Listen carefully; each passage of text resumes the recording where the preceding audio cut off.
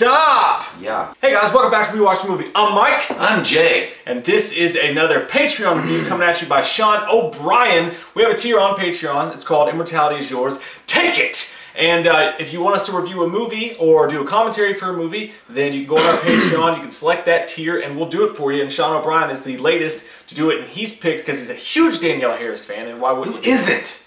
Oh, I fucked up my light. He's picked Blood Night, the legend of Mary Hatchet. Blood Night, the legend of Mary Hatchet. So, did you guys wake the dead? Uh. Yeah, sure, whatever. I, Like, I thought it was said The Legend of Molly Hatchet. I was like, oh, it's one of those. Okay, I love behind the music without the music. There's a dragon and a guy with a fucking flaming axe riding on the back of said dragon. Let's go! Molly Hatchet! Let's get our fuck on. Yeah. Ten years ago, a small Long Island town was rocked by a series of gruesome murders. The killer became a legend. It was basically the Sarah Connor T2 story because she was in a mental asylum and Well, uh, she was in a mental asylum for a good goddamn reason. Well, that's true. For good goddamn That's reason. true. You don't not go to Sunday school when you're told to go. you heathen bitch. she gets raped and all sorts of terrible shit happens to her Oh, before she decided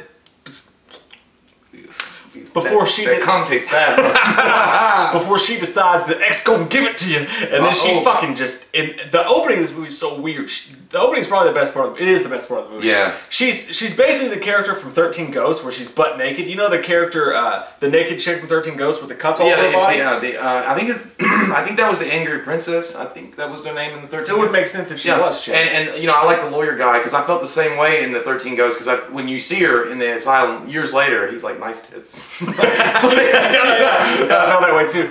But uh, no, she's she's butt ass naked, and all this bad shit's happened to her, and then all of a sudden she goes Michael Myers in Halloween Six, strobe light, killing the doctors on everybody, and just fucking ruins. people. Yeah, there were things about this movie I just did not enjoy. Not because it was like some of the stuff I didn't enjoy because I just didn't think it really flowed well, but other things I didn't like because it scared my nipple off. I don't like the herky jerky shit, and sometimes they would show these supernatural events showing Mary Hatchet walking weird like um ding dong ding dong and I say go fucking suck a kite stick.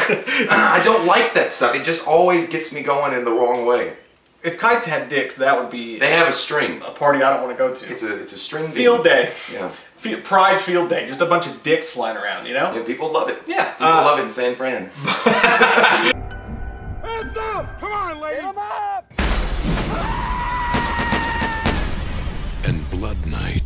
Was born. So, and that, that was weird that you mentioned that, dude, because this movie, it was one of those movies that the opener uh, reminded me almost of the Friday the 13th remake, because the beginning was just so balls to the wall and badass. And the beginning of this was too. At first, when you first see the little girl and her mom's like brushing her hair, and then the girl goes crazy. And You know why she got mad? Because she's like, "Those you fucking had a knot in my hair and you didn't even care." She just kept going. Don't tell mother no. she stabs her in the with these scissors. Uh, another Halloween Four reference in a weird way. Yeah. But uh, she stabs her with these scissors, and like the way the mom turns and she looks at her, she's like, "Ah!" First off, Like, it's I, the worst. I don't understand like how it happens a lot in horror movies. You got stabbed in the fucking eyeball, but yet somehow you're still able to go, I can't believe it's happened. Like your eyeball is hanging out of its socket with a fucking pair of scissors. You should be dead or in shock, but Yeah. nope, you're just like, these were my cutting scissors. Instead, she grabs the camera like like it was uh, Mad Max and just turns around screaming, going ah, and like the worst acting ever. And you think, okay, this is this is totally what we're in for. But Yeah. then they do some dude. Whoever edited this movie gets like. You should get an Oscar, and I'm serious because you can tell it's this terrible, terrible, like god awful uh, C movie shit. But the way this dude does the editing with these quick cuts and like the shaky cam and the herky jerky shit that you hate so much, it actually makes it pretty fucking cool. And it feels like uh, almost in House from Haunted Hill, the remake. You know how you see the doctors' faces and they'd be like, you know what I mean? Oh, Freaky as fuck. I don't like it. And at least in the opening, whatever they did with the camera work and the editing, they made this C or D movie shit look pretty scary and like badass for like a gnarly With- Within the first, like, well, yeah, I mean, some of the supernatural effects that they do use do come off pretty well, and they come off clean. But the other parts, of, like the very, like Mike said, the very beginning of the movie is where it's at. Like that's really where you're gonna get what you need from it. we know what you need. What you want? That sweet, sweet rock. Uh, but that's just gonna be a running theme. Get over it. Uh, but the very beginning, the, the, the first, I guess, like it's twenty something minutes.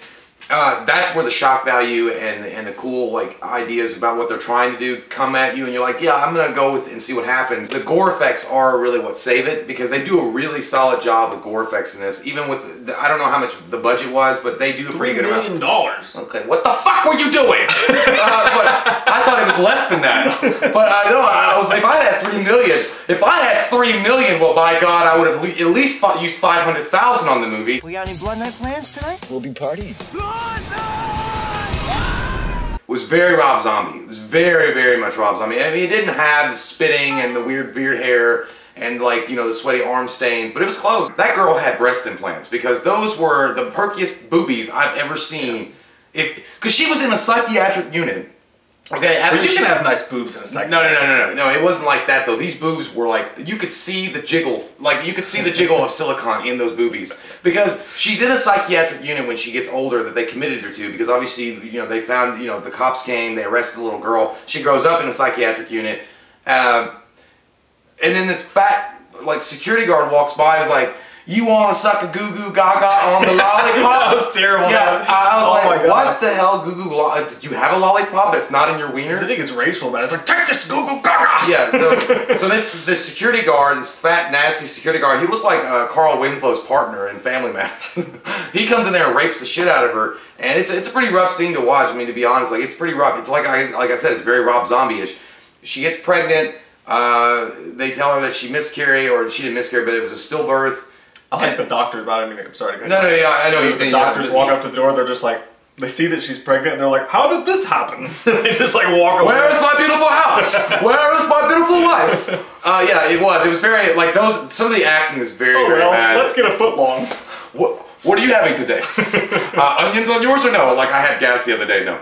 Uh, but yeah, so they were. It was sometimes the acting is very like whatever. But there's also speaking of bedside manner. Wow, where the fuck did you get yours, Doctor Kevorkian? Because after that poor girl loses her, like they tell her that she had a stillbirth.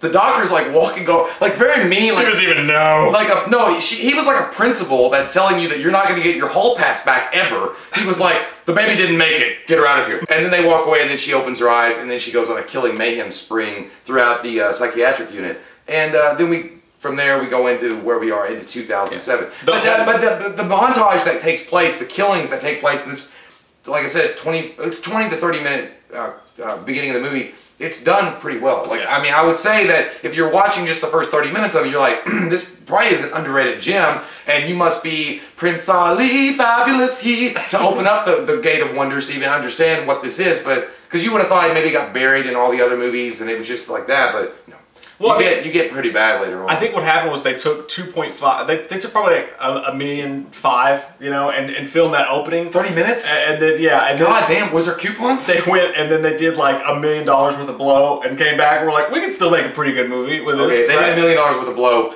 I'm on their side.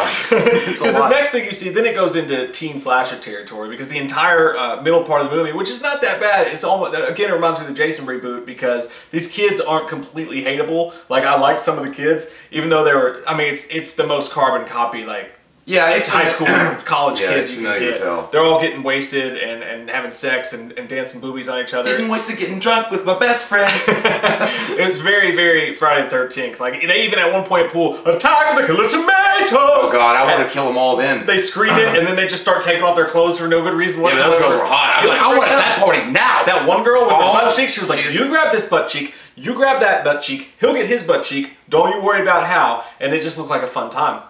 Let's bump chests. uh, but yeah, the thing about that whole scene, the opening sequence when they move from the psychiatric unit. And by the way, the reason why Mary Hatchet dies is because she throws the head of her. Uh, her rapist at these cops, and Mm. she's butt naked walking after, uh, you know, outside the psychiatric unit after she's murdered everybody. And they still shoot Yeah, they still shoot her. naked woman. Uh, I don't know. Um, I was like, yeah, you, you didn't really have much cause to shoot her there. She, like, she threw a severed head at you. Yes, that's fucking scary, but you were like, kill her! You jump to the high school scenes and they're coming out of school. By the way, a little preface before that. Blood Night, which is what they call it, has been now reveled. And, like, the kids of this town love it. It's like a folklore kind of thing. They all get behind it. Fire it up! Fire it up! Yeah, I'm a little fucking worm on a big fucking hook. uh, but yeah, it's kind of like that. They, they just enjoy the fact that it's a folklore to them. It's not real or it's a myth. And they have fun with it's it's a mischievous night. It takes place, I guess, it's near Halloween. It's like Halloween. Yeah, it's pretty much like Halloween. And then they celebrate and go out and get drunk and, and titty fuck and everything else. Ooh. good stuff. I love it. Um, good titty fucks. Uh, but anyway, that's pretty much where we, we take place at, later on. And then they go, these asshole kids go to the cemetery with these Ouija boards. By the way, I didn't like any of these kids. I didn't like one of these fucking I like the blonde kid who was trying to get the margarita maker to work. I didn't like A him. because I've been there. Those are hard to make work, and you get No, all. I you get- said it, dick. It's it's like a 40 year old Virgin with uh, uh, Steve Carell, and they're like, "What are you gonna do this weekend?" He's like, "Well, I wanted an egg sandwich, so I bought the eggs and all the accoutrement, and then by the time I made it, I didn't even want it because you you get the ice and you get the mix, and you don't know what the fuck you're doing because you're 16 years old, and then you get this shitty blender that you found in your mom's you know cabinetry."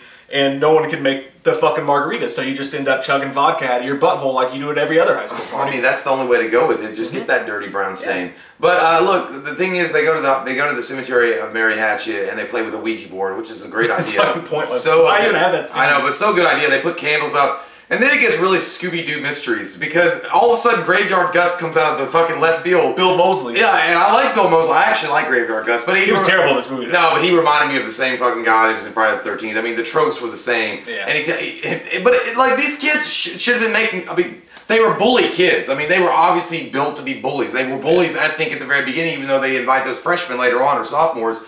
But they were like, Graveyard Gus, hey, what are you doing here late at night? He's like, oh, you kids shouldn't be out this late. Do you know what day it is? Like, yeah, it's blood night. Hey, Graveyard Gus, can you tell us a story? No one can weave a tale like you, sir. and he was like, gonna give it to you straight about Jason. Yeah, he's like, well, I guess I can. Here, let me take a drink of my drinks here and tells you. Now, the story he tells, actually, it was pretty cool. I was like, I like that story when he was, like, he talked about a married couple and Molly, or Molly, I'm gonna say Molly Hatchet, Mary Hatchet appearing as a ghost, butt naked in the forest. I think it was funny that the husband was the first one to stop, though, in that story. He's like, honey, I think we should pull over. Those ass chicks are calling me. But, uh, yeah, but, then, you know, they bring her in the car, and that sequence was pretty scary. I mean, especially when she walks away with the baby. It was cool. Yeah, but other after that, it's like bum bum. Give it me goes, back my baby! It goes right downhill. It was Janosch. Janosch has my baby.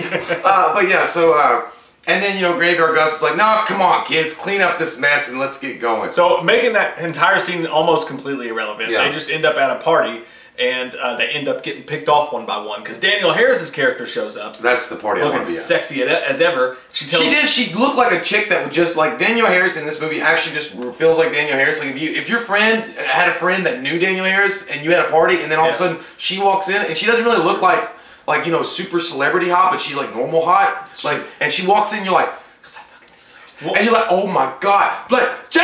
She always kept her. She had that schoolgirl skirt on, right? Yeah, she did. And she always kept her legs open and her hand in between it. And then she told this crazy story about uh, Being, like, gang being raped. gang raped. But then she was like, and they branded me with a mouse because they used to call me Mouse. And she's like, here it is right now. But then she's like, my pussy ate it. And I was like, why am I turned on right I know. I was. I've been that guy at the blender, be like, uh, adventurous.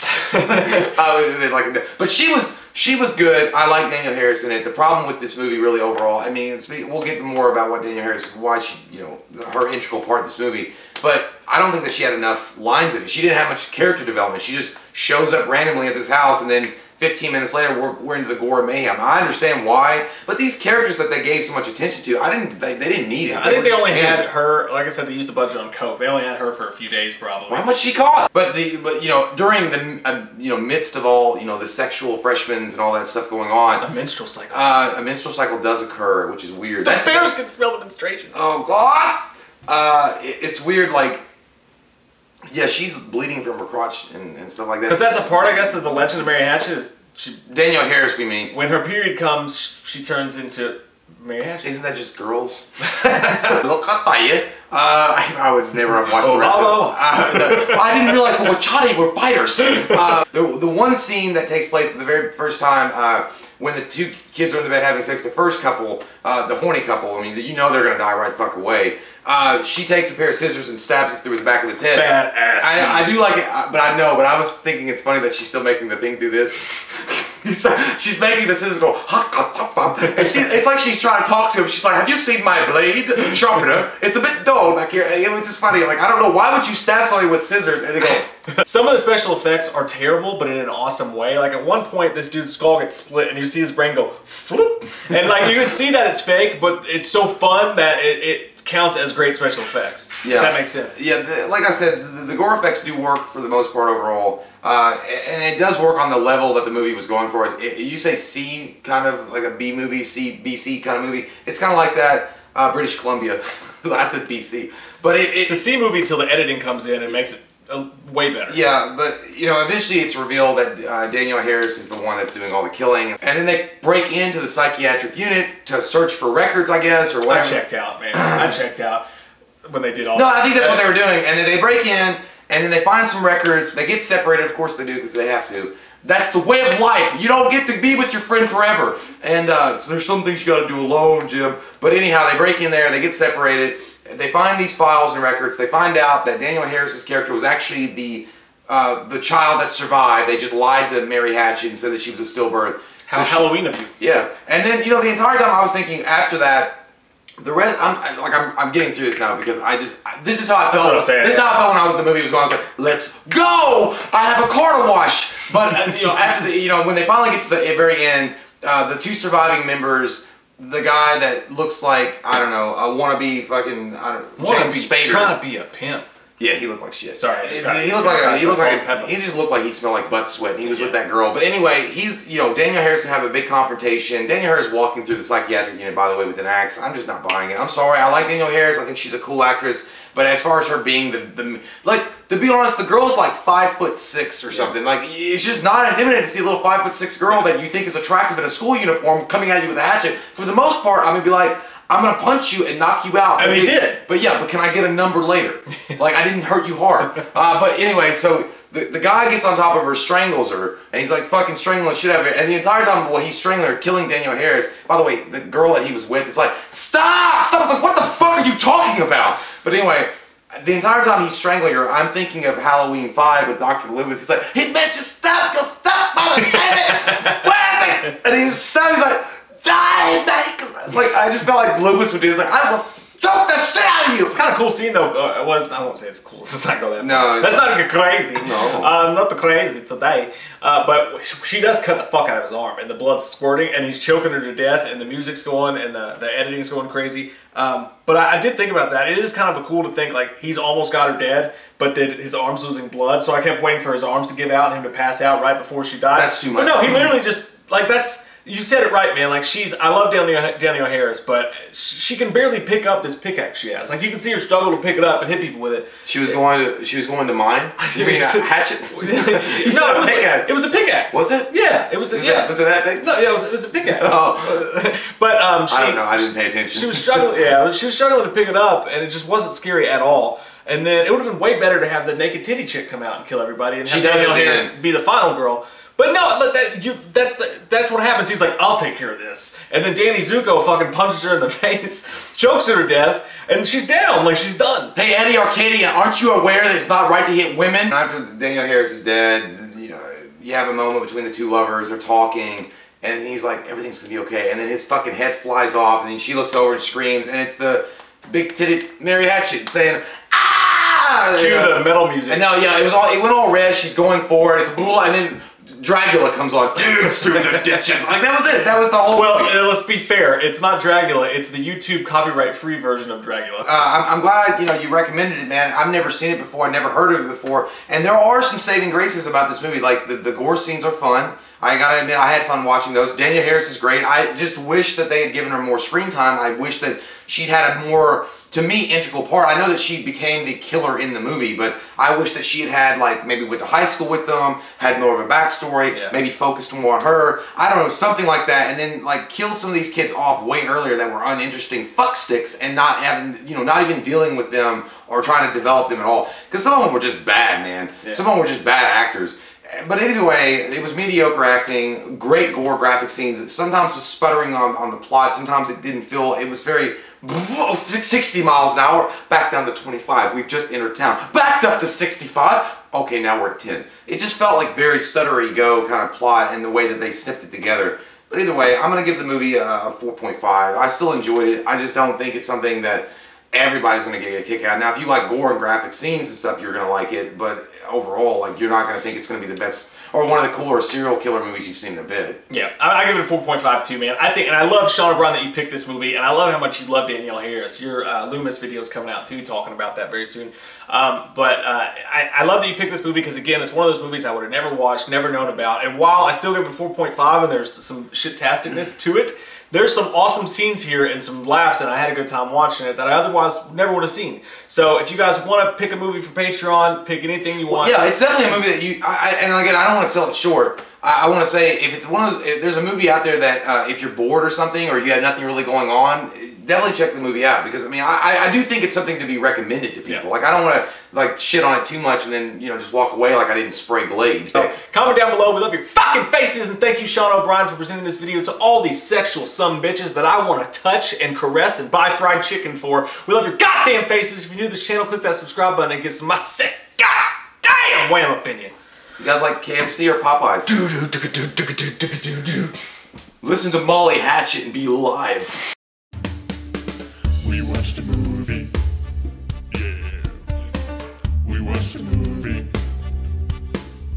watched it. We watched a movie. Yeah. You know what? We did a review. We watched a movie. Uh-huh. Hmm. We watched a movie.